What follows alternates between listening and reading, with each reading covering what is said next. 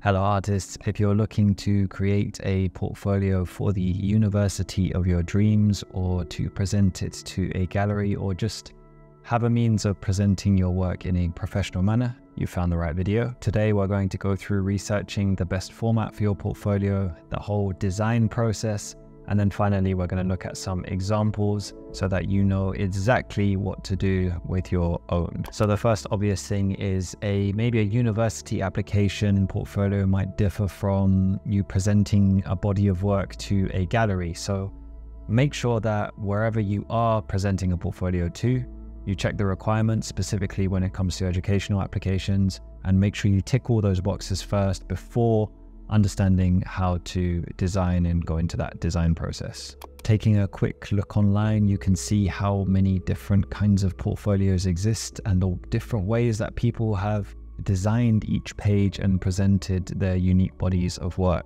As a painter myself, I'm going to go through how to design a portfolio for fine artists in this video.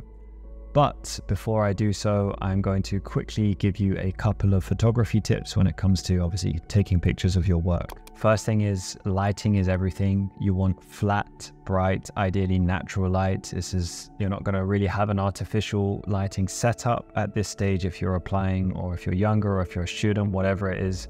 So use natural daylight, you want flat light, and if possible, get your hands on a DSLR because you can shoot manual and then you have control over many aspects when it comes to how your work looks when you're taking a picture of it. You also want to use a tripod when you can, and this can apply to both if you're using a phone camera or if you're using a tripod. So if you do not have a DSLR at hand, you can use your phone. Remember that lighting is basically more important than anything else. Good lighting with a decent phone camera will have decent results. And bear in mind that fine art photography is like a whole speciality in of itself. So if it doesn't look absolutely perfect, don't stress about it too much. You just have to do the best that you can with what you have available. For any smaller works that you have, scan them, find a scanner, go to, I don't know, a local scanning, printing, electronics place to get your work scanned because that will be the highest quality image you can possibly get for smaller works. Now, the fun part or the horrible part, depending on how you feel about technology and designing, and that is the actual design. Now, doing some quick Google searches and looking at some example portfolios, whether that be animation portfolios, design portfolios, illustration portfolios, fine art portfolios, like we'll be doing in this video, understanding what kind of context your work exists in and how to present that and looking at a few examples is the best way to begin. As a painter, for this next section, I'm going to jump onto Canva, which is completely free, and showing you how I'd put together a fine art portfolio including titles and text.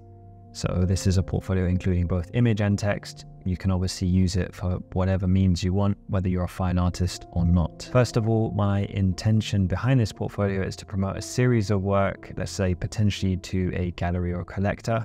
It can also work for a school application or educational institution application.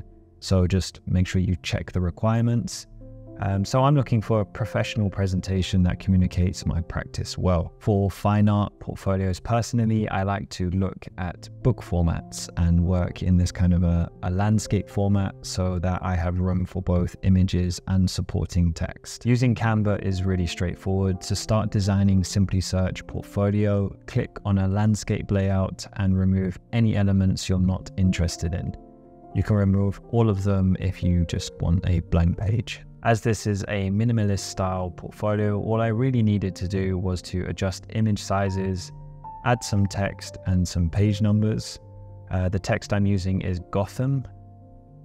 I was about to do a Batman voice, but let's not do that. Uh, size 14, and I'm just demonstrating here how you'd go about making a few of the pages that I've put together already. As you can see, each page I've got here is a slightly different format some featuring work alone, some with text accompanying the piece, and other pages just purely displaying my art.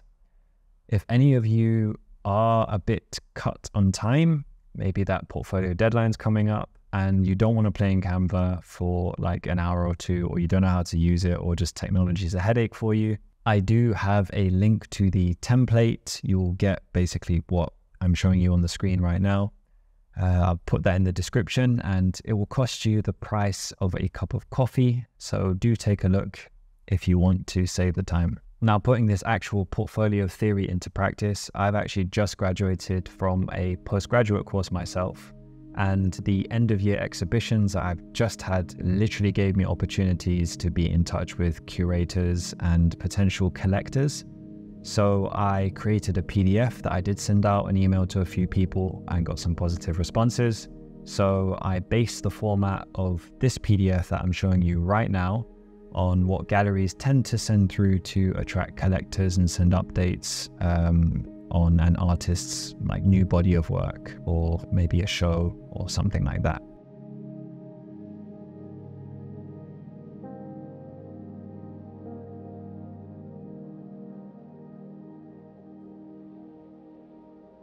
Putting fine art aside for a moment, let's quickly take a look at some alternative formats that I've saved for inspiration and break them down a little bit. So these here are, you could say, a few alternative approaches I've come across that may suit your own work more closely, just for those maybe who aren't just strict painters or image makers, or maybe want to do something a little bit alternative.